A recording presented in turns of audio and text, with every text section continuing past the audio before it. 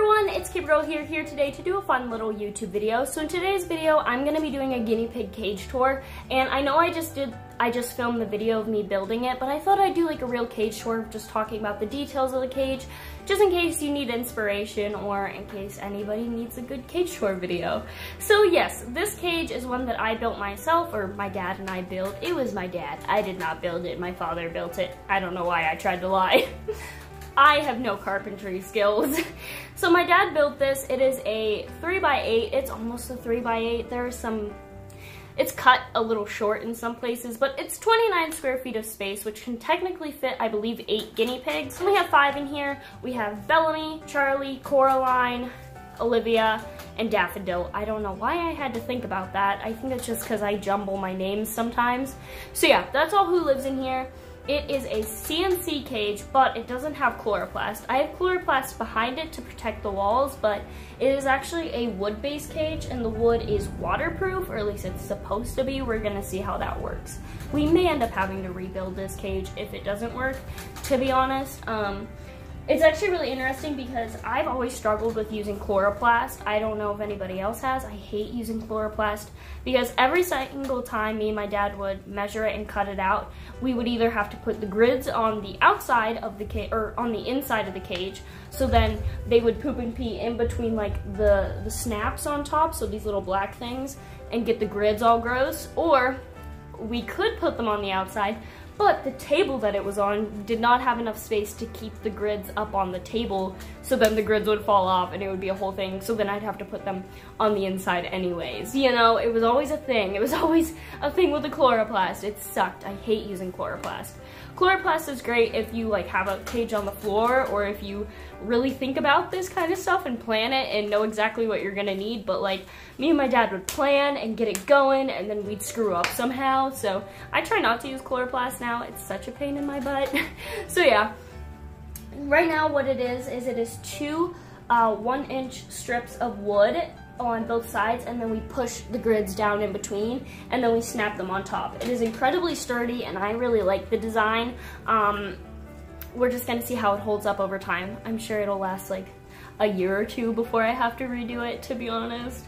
Um, I always am redoing my guinea pig cage I'm never happy with it apparently. So yeah, also just so you guys know, I do use fleece bedding. So I use fleece with an absorbent layer. You need an, an absorbent layer if you're gonna be using fleece. So whether that be um, puppy pads, a U-Haul blanket, I use the moving blankets, those are really absorbent, or towels, anything like that you can use to be your absorbent layer. So keep all that in mind, let's get into the cage tour.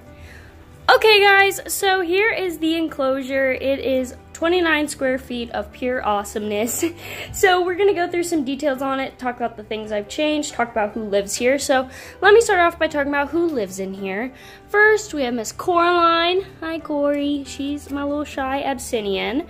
And then we have Bellamy, my neutered boar. And then down here, we have Olivia, and Charlie, and Charlie is escaping. There's Charlie.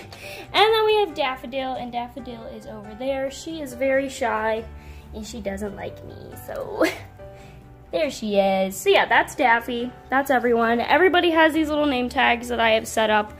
So yeah, I just hang them all up. I always make like a pink one. I try to go with like a purple theme, and then the boys get like a blue one, and the girls are supposed to get all purple, purple, but I decided to paint Daffy's a little pink color because she's so cute. So yeah, um, let's talk about some other things first. This is where I keep hay because my big 50 pound box of hay is down here with my chair that I have to use to stand on because I'm too short. I have to like stand on a chair to reach in because I, uh, yeah, I'm short. Like this cage is to my hip, so it's just, it's a pain in the butt. So yeah, I put hay in there just so it's easy to give it to the rabbits and the piggies without having to drag out the box every time. And then some other things, um, I guess we'll talk about this first. So these are all my past piggies. Um, we have Beatrice, Daisy, Benny, Piper Michelle, Nibbles, Jackson Lee Anthony, Charlotte, Penelope, and Ebony. So those are all their name tags. And then I tried to like just make it very cutesy and have a whole bunch of pictures of current piggies and past piggies and my rabbits, all that. So I definitely want to add more pictures. I want to get like the guinea pig crossing sign or do not enter or beware of guinea pigs. I want to get that sign. I was thinking I would put some framed pictures up over there of maybe like my first herd. So I was thinking about doing that. But yeah, I definitely want to add some more pictures. And I was thinking about hanging fairy lights above here at some point. So yeah, anyways, now let's get into the actual cage itself. So this is more like the hangout area. Um, this is a bath mat. It's like memory foam. The reason why I have it flipped upside down is because their poops get like stuck in between these grooves. So having this here is really nice. It's cushiony. It is washed. It looks dirty. I know it's kind of stained. Um, here's a pigloo they have just for an extra hide. And then they have a hammock. They actually have been using it. They haven't used it as much as they did. So I might have to lower it. I liked having it a little bit higher in the air because then it wasn't like them just sitting on it because now whenever it's up they can actually get comfy. Then we have this little toy that I got off of Amazon in a pack.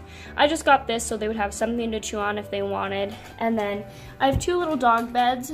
Um, I want to get more of these, but they're like 10 bucks per dog bed. So it's like, hmm, why are dog beds so expensive, you know? And then we have this big, um, I don't know, like hangover above it, and it kind of works as one big hide. So that's really nice because that's where they hang out and sleep a majority of the time. Uh, honestly, they mainly sleep under here, and nobody is ever really sleeping in the pigloo. So I think that just shows how safe they feel under the the big hangover. And then we have this cute little tunnel, which I've had for years.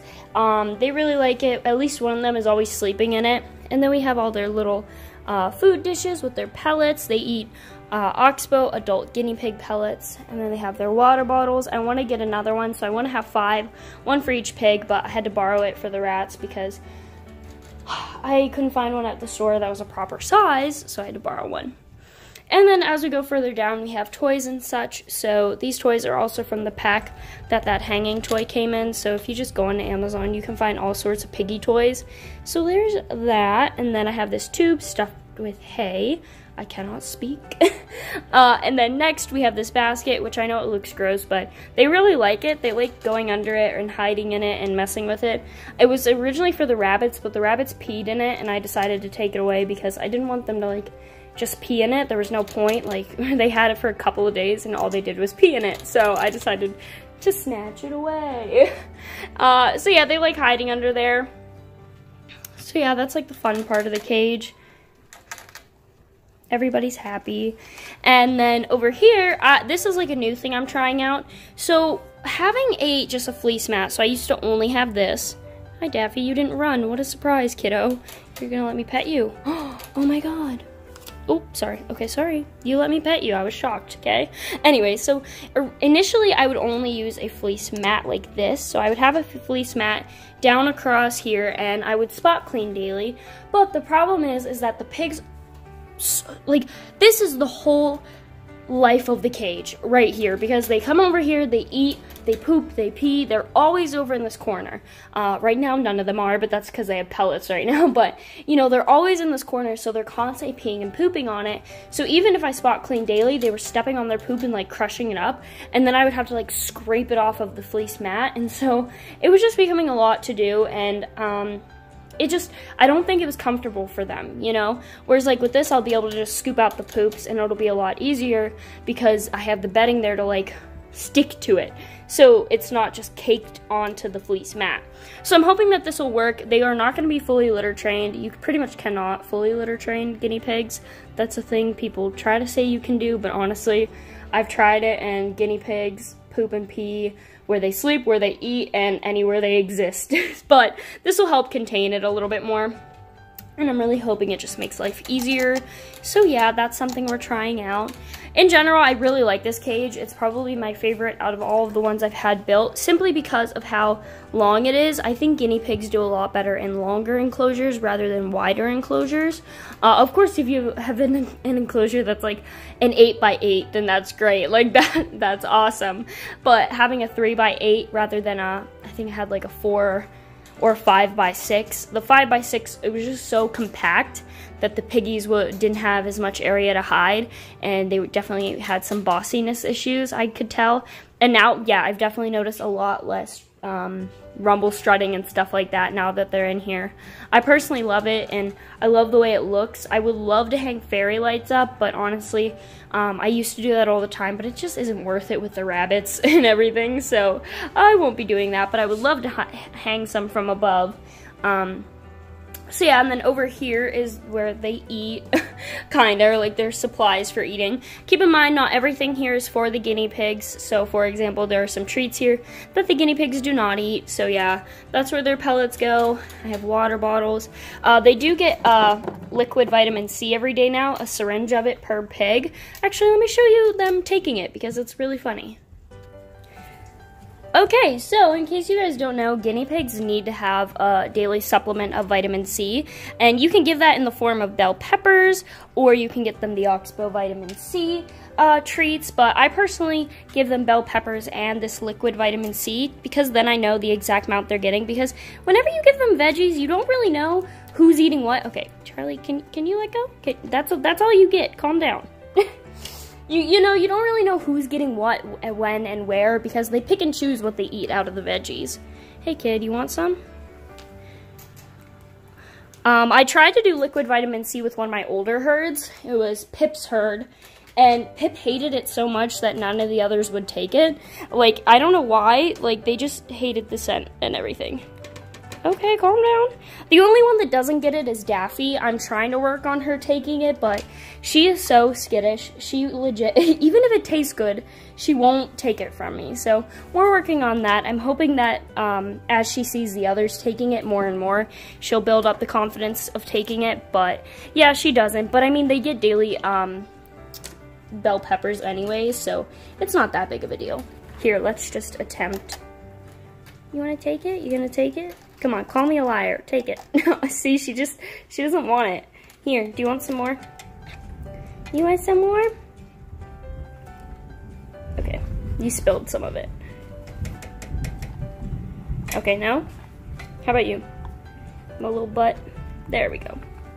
Charlie's very sassy. So yeah, that's kind of my herd. That's what I have going on. Um, I just want to mainly work on um, getting different cage accessories and toys, which will be easy from now on because I kind of have an idea as to what they like now. I definitely love having a cage like this. It's so much easier to work with. Um, have an absorbent layer underneath. It is a U-Haul blanket. Here's one that needs to be washed.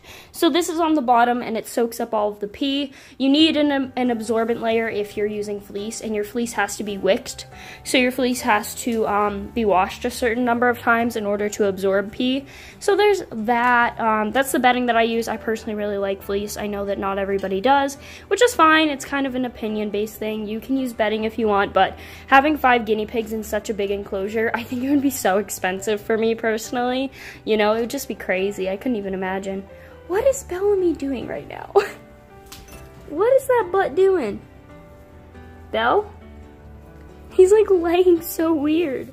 Do you not understand that you can go get hay if you want? He's like looking at Olive who's in the hay like, what is that? Hey, Belle. Can I pet you? Nope, I had a feeling it was gonna be a no. That's okay. So yeah, that those are the piggies. Okay guys, I hope you guys enjoy seeing the piggy cage and its awesome glory and all that. Um, I'm editing right now because I forgot to film an intro per usual. But anyways guys, if you enjoyed the video, like and subscribe and also check out my Instagram, link down below. And if you didn't, then goodbye!